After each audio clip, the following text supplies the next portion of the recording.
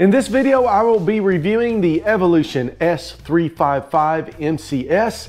It's the industry's first 14-inch metal cutting mitering chop saw. What makes this chop saw unique is that it does not use an abrasive wheel like you may have seen on other chop saws. This saw comes with a 14-inch 66-tooth carbide tip saw blade, which has teeth like what you would see on a wood cutting saw blade which will make faster and cleaner cuts. The S355 MCS is also a true miter saw. It has a 46 degree mitering base both to the left and to the right. It has a thumb lock lever so that you can lock the saw into any angle between 0 and 46 degrees. If you look on the back of the saw, it has a sliding base, but this is not to be used like a sliding miter saw that would be used to cut wood, but rather for positioning the saw blade so that it hits the metal to be cut at the correct angle. The base has three locking positions that make it easy to find the right angle needed to make a cut. This saw also has dual sliding cast iron clamps on the front to secure the metal to be cut this makes it possible to clamp very close to the blade when cutting short and small pieces of metal.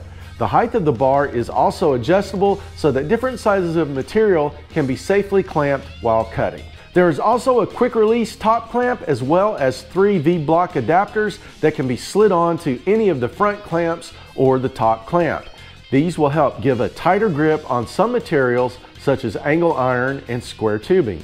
There's also these holes in the base of the saw which will allow the use of bench dogs or optional clamping accessories. And just like my other Evolution chop saw, this saw has an onboard Allen wrench which is used to change the cutting blade. Having it on board is great because now I don't have to go looking for the correct size Allen wrench when I need to change the blade. And speaking of blades, Evolution makes a wide variety of specialty blades such as one for cutting non-ferrous metal like aluminum and also a thin steel blade for cutting smaller and thinner metal. I have both of these blades on hand and will be testing them out in this video. If you decide to get one of these saws for yourself, I have provided links down in the description of the video. And also remember to use the discount code Making Stuff to receive 5% off of your order from the Evolution webpage. And finally, I'd like to point out that Evolution did send me this saw to make a review on it, but they did not pay me for this review. So this video is 100% my honest opinion about this saw. So enough talking about it, let's make some cuts.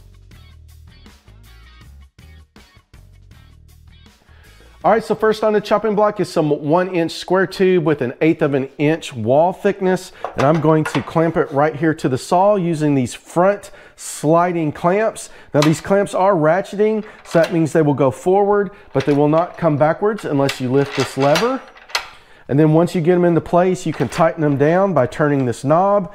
And then that pretty much locks my piece of metal that I want to cut into place. All right, and it's all set up here, so let's make the cut.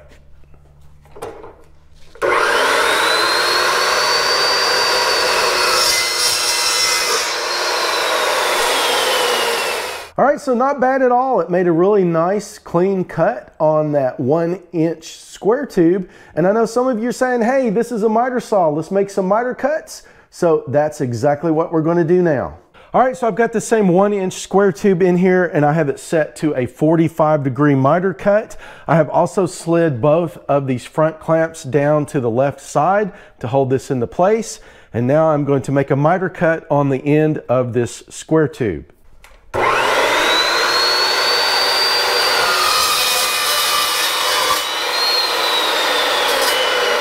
So that made a pretty clean cut. That's exactly how it came off of the saw. I have not touched this up with an angle grinder or a file. Let's put the speed square on here and see. Yep, that is a 45 degree cut. So it made a pretty decent 45 degree cut on this steel. All right, so let's step things up a bit. I'm gonna use some three inch square tube with 1 8 inch wall thickness. And again, I'm going to do a miter cut and I'm just going to hold it in place using these front clamps. And it's all set up, so let's make the cut.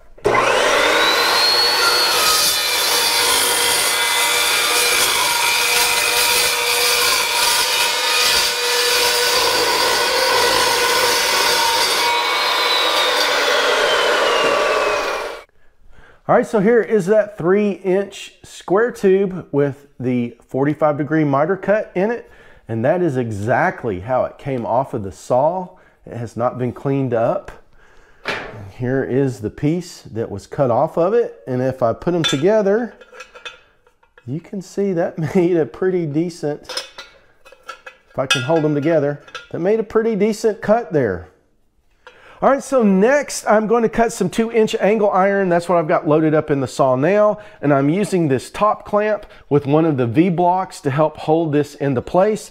And I'm using one of the front clamps. And that's what's nice about these front clamps. If you don't need them, they just slide right off and you can set it over here out of your way so that it doesn't get in your way when you're making the cut. So let's just make a quick cut on this two inch angle iron.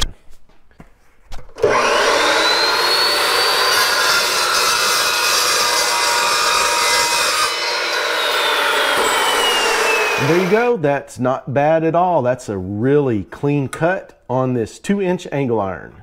Okay, so I've got some three inch angle iron loaded up here and it is a quarter of an inch thick. And I'm gonna show you one of the nice features about this carbide tip blade. That is, it does not heat the metal up. If I had been using an abrasive blade, this metal would have been glowing red hot when it was done cutting and there's no way you would be able to pick it up with your hands. So what I'm going to do is I'm going to cut this and then immediately I'm going to pick it up with my hand and show you that the metal is not hot. It doesn't even get warm and that you can just hold it in your hand and it won't burn your hand. So let's cut this angle iron and I'll show you that right now.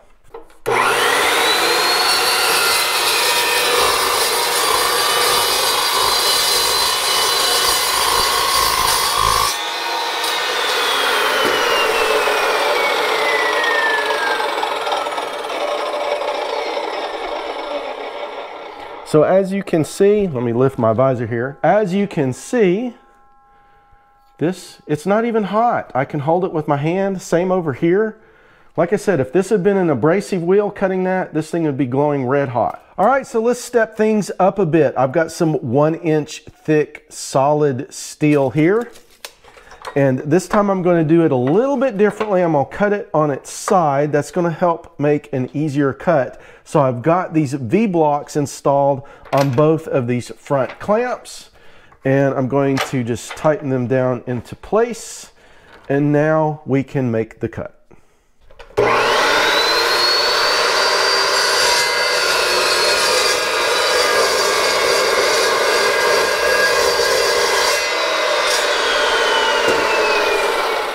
There is the clean cut made in my one inch thick mild steel. So this saw does a pretty decent job of cutting steel. So far it's been able to cut everything that I've been able to throw at it, but let's try something different. I do have an aluminum cutting blade for the saw. And if you've been watching the channel, you know I've been working on an aluminum jet boat. You can see here, here's the rear end of it right here. And I've got a bunch of scrap pieces of aluminum. So let's put this blade in the saw and see how well it cuts aluminum. All right, so I have removed the saw from my table and I just wanna show this to you guys. This is also an Evolution product and this is great for cleaning up all of this metal sawdust, all these chips that are all over my table. This has a magnet in it and then when you pull this, it releases the magnet. So it's real easy just to wave the magic wand all over these steel chips or sawdust, whatever you want to call it. And you can see it sticks to this. And then when I'm ready to dump all of these little metal shavings that are on this tool, I just pull the lever on the end and they all drop off into my waste bin. And if you're interested in this tool, I will have links to it down in the description of the video. The saw is now set up with the aluminum cutting blade installed and I went around the shop and the biggest piece of aluminum I could find was this two inch square tube that has a quarter of an inch thick wall on it. And this was a brace that I had to use on the jet boat. It was a temporary brace and you can see here where I cut it out of the jet boat when I was done. So I'm just gonna chop this piece off the end. Let's see how well it will do.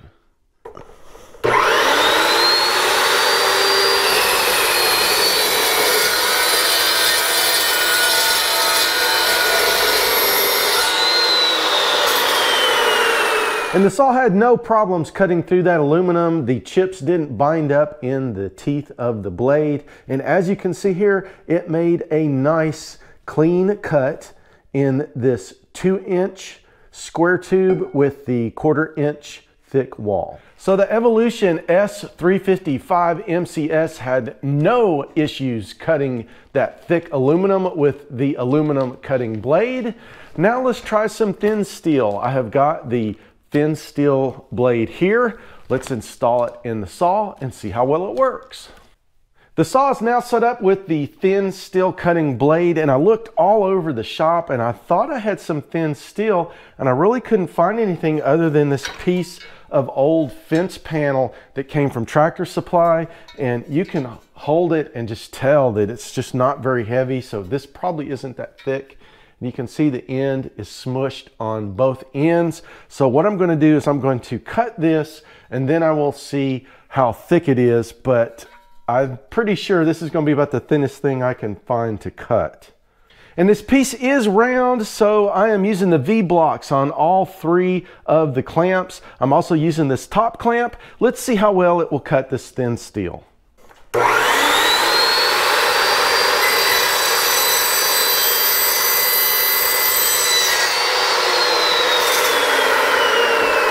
So here is the cut that it made on this round tubing.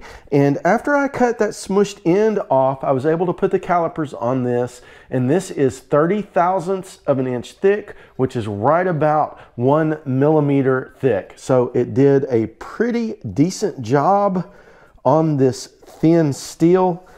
Let's try a miter cut and see how well it does.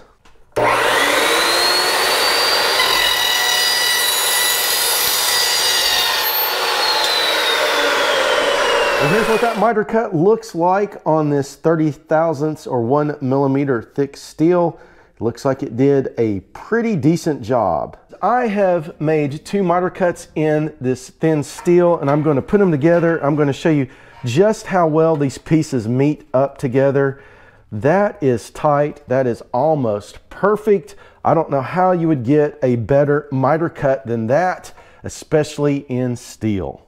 And no saw test would be complete on the Making Stuff channel without cutting a piece of railroad track, which is what I've got right here. I'm going to load it up into the saw. I have put the mild steel blade back into the saw. Let's see how well it will make this cut. All right, so I've got the railroad track all set up into the saw. I did have to clamp the front clamps on like this because I did raise the bar up a little bit and try and clamp here on the track, but that just wanted to push it over. So I'm gonna try it this way. I've also got the top clamp clamped on right here, and I did have to move the head of the saw forward a little bit using that slider on the back, and that's exactly what this is for. And what that has done, it has pushed the blade forward so that it'll make a better cut on this railroad track. So it's all set up here. Let's see how well it will cut the railroad track.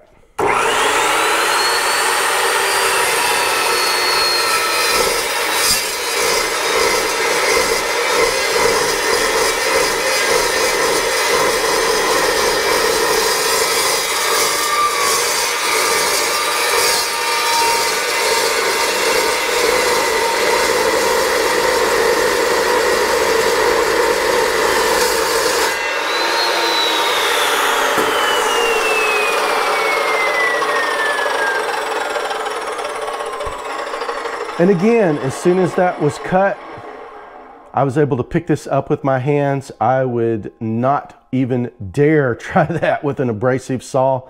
But as you can see, it made a nice clean cut in my piece of railroad track. And one last thing I'd like to say about the saw is that it is a heavy duty saw. It weighs about 70 pounds with the clamps installed on it. It has a 15 amp motor and that motor did not bog down on any of the cuts that I made, including when I was cutting that railroad track.